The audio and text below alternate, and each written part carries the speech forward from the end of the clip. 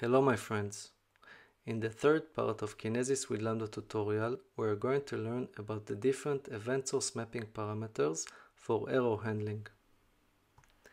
When attaching a Lambda function to consume a Kinesis stream, you are in fact attaching an event source mapping and pointing your Lambda function to it. The event source mapping will read batches of records from the stream and invoke your Lambda function for you.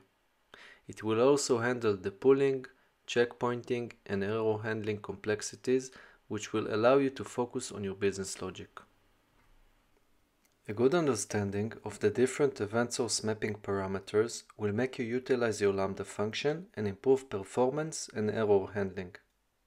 In the next slides, I'll go over each parameter and explain how they work.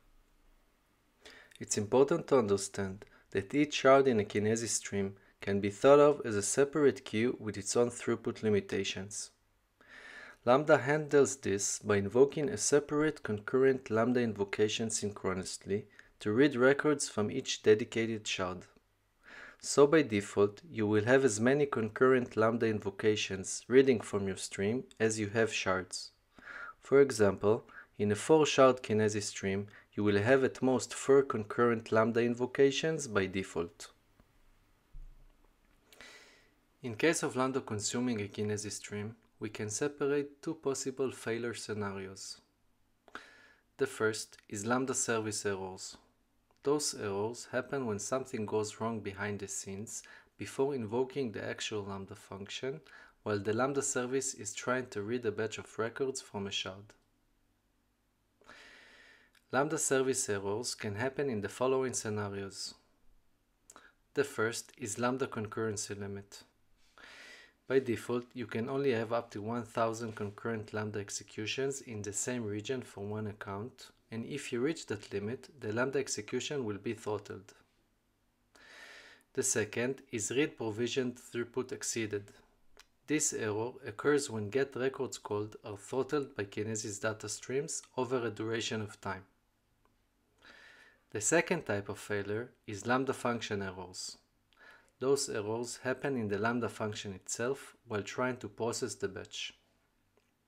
For example, it can be an exception thrown while processing a specific record in a batch and we get Uncaught TypeError cannot read property of undefined.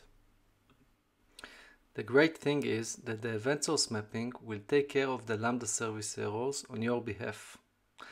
This is one of the great strengths of serverless computing. But what happens when an error occurs while processing the batch of records in the Lambda function itself? By default, Lambda will try to process a batch of records over and over again until it succeeds or until the records in the batch expire. This is not a good behavior and it may present unwanted results such as fruitless retries and causing the iterator age to increase.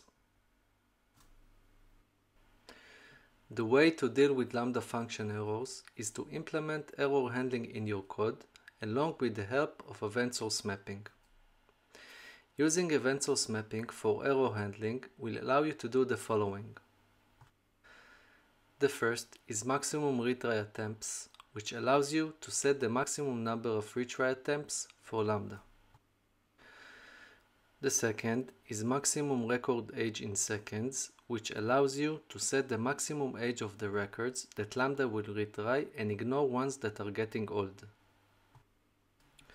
The third is bisect batch on function error, which will recursively split the bad batch for you and try to process the half separately. The fourth is function response types with report batch item failures value. This configuration will return a partial success for the part of the batch that has been processed successfully. And the last is destination config, which will allow you to define an on-failure destination for the records that cannot be processed after all the retries. In the next slides, I'll go over each one of the options and explain how they work. Maximum retry attempts. This parameter defines the maximum number of times to retry when the function returns an error. It's not a required parameter, the default is minus 1, which sets the maximum number of retries to infinite or until the records expire and the valid range is minus 1 to 10,000.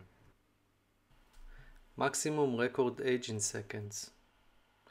This parameter sets up the maximum age of a record that Lambda sends to a function for processing.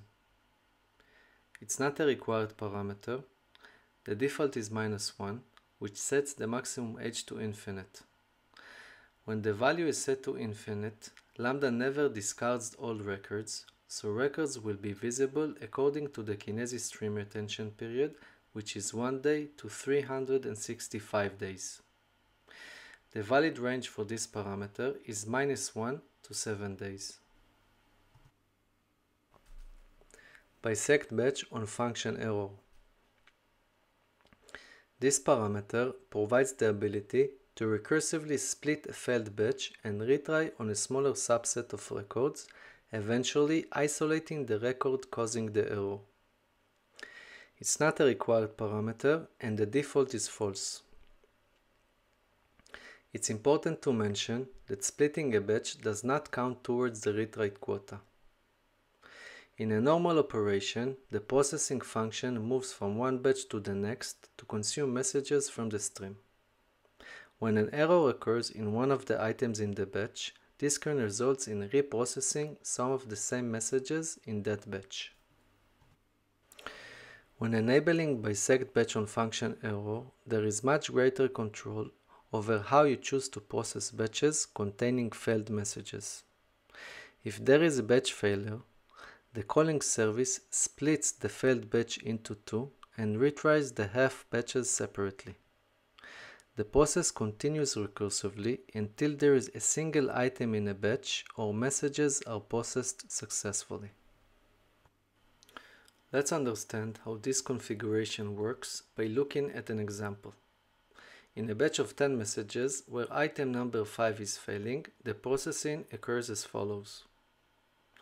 Batch 1 fails, it's split into batches 2 and 3. Batch 2 fails and batch 3 succeeds. Batch 2 is split into batches 4 and 5. Batch 4 succeeds and batch 5 fails. Batch 5 is split into batches 6 and 7 batch 6 succeeds and batch 7 fails. While this provides a way to process messages in a batch with one failing message, it results in multiple invocations of the function with the same record. In this example, message number 4 is processed 4 times before succeeding. Function response types this parameter allows consumers to automatically checkpoint to the last successful record in a batch. When consumers set this parameter to report batch item failures, if a batch fails to process, only records after the last successful message are retried. This reduces duplicate processing and gives consumers more options for failure handling. It's not a required parameter, and the valid value is report batch item failures. Let's understand how this configuration works by looking at an example in a batch of 10 messages where the sixth message fails. At first, Lambda processes the batch of messages, item 1 to 10. The sixth message fails and the function returns the failed sequence number. Then, the checkpoint in the stream is moved to the position of the failed message. The batch is retried for only messages 6 to 10. This can help reduce unnecessary Lambda invocations and prevent reprocessing of the same messages in a batch containing failures. Destination config. This parameter sets up an SQS queue or SNS topic destination for discarded records. This configuration sets up the on-failure location for events to be sent to once it has reached the maximum number of times to retry when the function returns an error. It's not a required parameter, it accepts the ARN of the SQS queue or SNS topic under the on-failure key. Let's look at an example of defining an SQS queue as an on-failure destination config. As we saw earlier, if all else fails, the event source mapping also allows you to set an on-failure destination for the records that cannot be processed after all the retries. Then, Lambda will send some metadata about the failed batch to this destination, but not the batch itself. In that way, you could retrieve the records from the stream later as long as they do not expire.